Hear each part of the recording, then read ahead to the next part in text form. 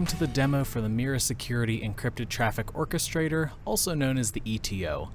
In this short video, I'll be showing you how in many networks there may exist massive security blind spots due to encrypted SSL traffic. For testing and demonstration purposes, I'll utilize the Suricata IDS running on the Selks platform to monitor all traffic. As you can see in this network diagram, I have the ETO in network inline with the Suricata IDS in passive mode. That means that the ETO will be directly between our test client and the internet. It will actively decrypt and re-encrypt SSL connections that pass through it. It will send the decrypted traffic to Suricata for traffic monitoring and threat detection. I will generate test traffic by clicking a link in what could be a phishing email I'll demonstrate that when traffic is not decrypted, threats in the encrypted traffic are not detected by Suricata, but once decryption is enabled, it quickly detects the threats and alerts you to any issues it might find. For the first test, I already have the policy set to bypass mode. The traffic does pass through it, but it is not decrypted or re-signed. It is functionally just a wire in this instance. The traffic does get sent to Suricata, but it is the encrypted traffic. For the second test, I will set the ETO policy to universal decryption. This will decrypt all traffic in an SSL connection and re-encrypt it before sending it on to the destination. The traffic it sends to Suricata will be decrypted. Alright, now let's go over to our test client, and as you can see Gmail is already open, and we'll take a look at this email that we were sent. This employee isn't very tech savvy, so they might not know what to look for when it comes to phishing emails. It looks like this is from a colleague though, so we'll go ahead and click the link in the email. Now a more observant user will notice that this isn't the URL for the Mira Security website, and that when the page loaded, a file was downloaded. But it looks like the Mira Security website, so this fictional employee probably wouldn't notice these things. In this situation, it's up to the IT department to catch the malicious activity.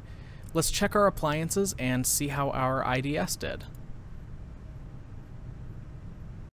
When we go over to the logs, we can see in the action column that this traffic is being bypassed. The ETO isn't decrypting anything, and the traffic that Suricata is receiving is still fully encrypted. And when we refresh Suricata, we can see that there are no alerts despite the fact that we downloaded a file called virus.msi. This is because Suricata, as well as most security visibility tools, cannot decrypt SSL traffic on their own, so they're blind to the vast majority of web traffic. We'll go ahead and close out of the browser in our test client so that we can reset for the next test.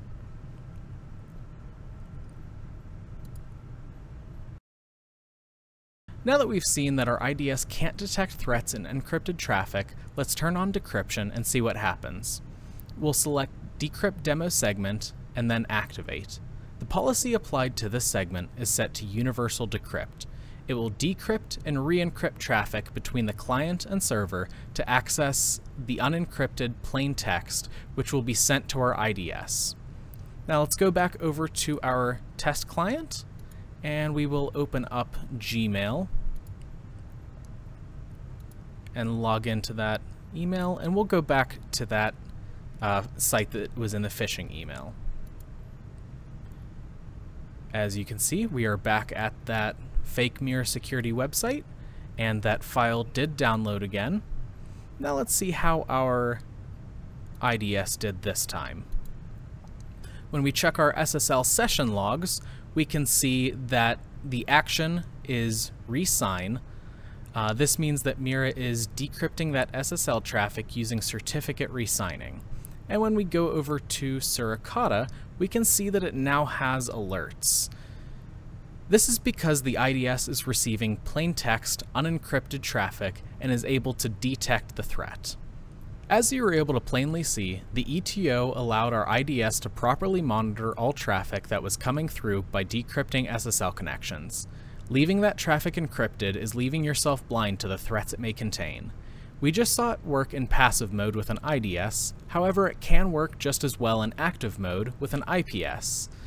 If you have multiple security appliances, you can serve those other devices the decrypted traffic through mirror ports while only having to decrypt it once and only on one device.